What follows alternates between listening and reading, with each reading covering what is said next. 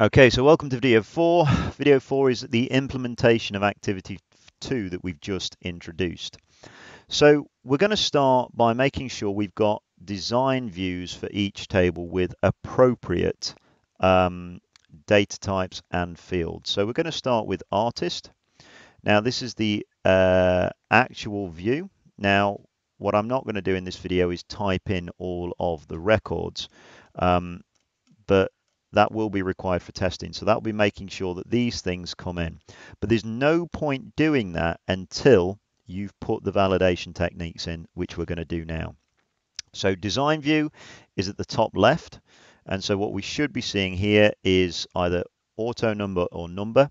Now be careful with auto number because as we've seen from the, and we've, we recognized today, that it might be as better, uh, well served to make sure that that's set as number but make sure that is done so pre uh, relationships. But it's okay as auto number. We should have short text and short text for the initial.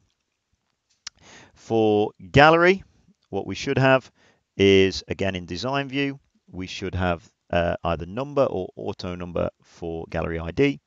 We should have short text for gallery because it's the name, and we should have number for gallery type ID. For exhibition, again in design view, we should have exhibition ID, which should be either number or auto number. Number of days should be number. Artist ID should be number because it's related to artist, which is either auto number or number. Gallery ID, number. Exhibition uh, start date should be date time. And predicted sales should be currency. And finally, we have gallery type. Again, we go to design view. We should have either number or auto number and short text, making sure that the primary key is present in each case.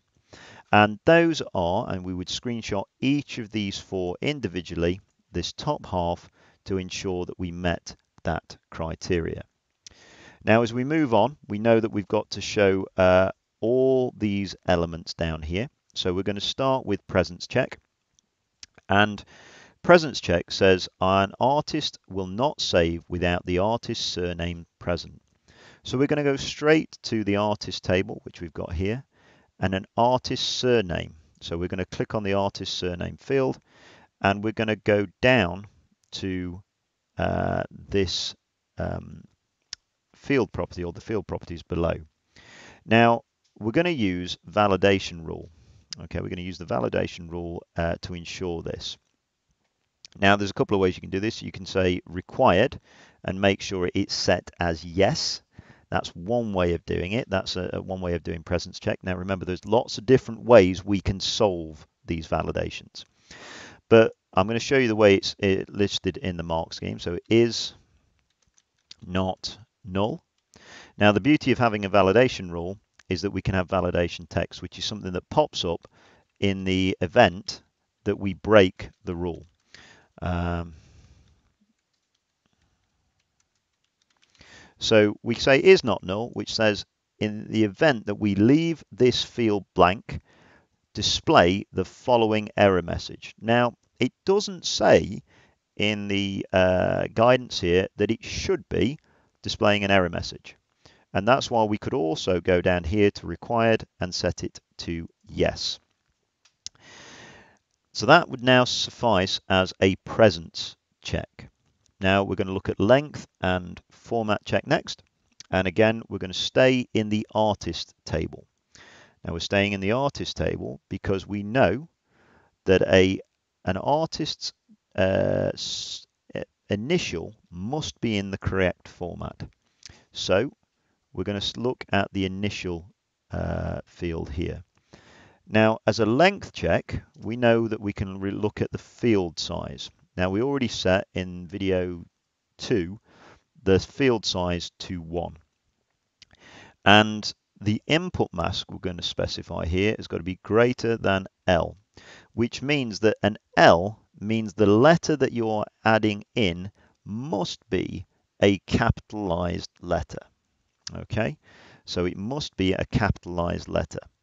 Um, so what we've got now, again, we would screenshot this and we would label it accordingly, a length check, and we'd highlight this. And the format check would we'd use for input mask. So we've got now presence check, we've got length check, and we've got uh, a format check. Okay. Now what we haven't done is table lookup and uh, value lookup yet, or a range check. So for range check, we're going to look at our uh, table again, and it says a record will not save if the number of days is below the accepted range, and it will not save if it's above the accepted range. So these two points are going to help us meet our range check. Now we know that the number of days exists in the exhibition table. So we're going to go to our number of days uh, field. We know it's set as number, and again, we're going to use a validation rule. Now this time we can quite simply use the between uh, command verb or keyword here, sorry, not command verb. And we're going to use the word and. So between uh, 3 and 10. Now, providing that's all working correctly, we should get a capital A on and.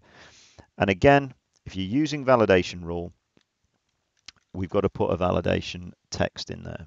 Valid number of days must be at least 3 and no more than 10.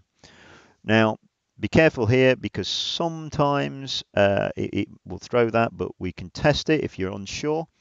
Go into your design view, uh, table view, um, uh, number of days. Let's try entering three. It accepts it. Let's accept 10. It accepts it. Let's try 11 and we get our error message here. Okay, and if we get stuck, we press escape. I'm going to come out of that. Go back to design view. So now we screenshot our field properties. We've done a range check. The last thing we've got to do is a table lookup. And again, we're given direction from the awarding body of where this must be. A record will not save if a gallery is assigned an invalid gallery type. And a gallery, a record will not save if the exhibition is for an invalid artist. Now we could use this for any foreign key, but it's important that you do this for the things that it specifies here. If it's in this list, then you must do it. Now, again, we're going to go to exhibition because we are uh, a record will not saved if the gallery is assigned an invalid, uh, sorry, an exhibition is uh, assigned an invalid artist. And what I'm going to do is I'm going to go to artist, yep, uh, which we know is number and I'm going to come down to the field properties and I'm going to go to lookup. I'm going to change it to a combo box. And by doing so, I'm going to get a uh, uh, some options down the bottom. Now, where th this row source says table or query means it's where is it going to pick up the data from? Well, I'm going to use row source down here and find the table. Now, if I'm looking for an artist, I'm looking for artist there. And what that should do is pull through the artist ID that's already related in the artist table. Again, if in doubt, go to design view, uh, sorry, datasheet view. And this time, when I go to this, it's already opened by somebody else. So let's just close it. This time, uh, it's because I've got to reopen it again. My apologies. I've got no artists in there. But when I put the artist in, this drop-down box will display all the artists in the artist table. Now it's blank at the minute because they aren't in there, but that, what I would do here is screenshot the lookup value for artist ID and I'd get this. Now, to ensure we complete the steps here, so the gallery cannot be assigned an invalid gallery type. So I'd go to the gallery table, and I'd do exactly the same thing. I'd go to gallery type ID, look up, change it to combo box, and select this time gallery type. And that would be saved. And again, what I would do is screenshot this lookup section within my uh, example here. And that should get you the activity to full points. But what we can do here is we can check the guidance for activity two. I'm just going to pull this across. Um, it says, activity two, TBL should be used for table. Fields should be consistent, either have spaces or not, so make sure you are consistent with your naming conventions throughout. ID fields may not match the rest of the fields, but must be consistent with each other. If standard naming conventions are used for tables, but our fields are not consistent, you can only get band 3 for trait 1. So each of these is worth effectively two points. Um, for trait 2, you must make sure that everything that you've produced in activity 1 matches here. Now, if you've created the table structures in activity 1, it shouldn't matter. Make sure the data types, as we've just gone through, match. Okay. And in trait 4, you must make sure you meet the checks that we've just been through.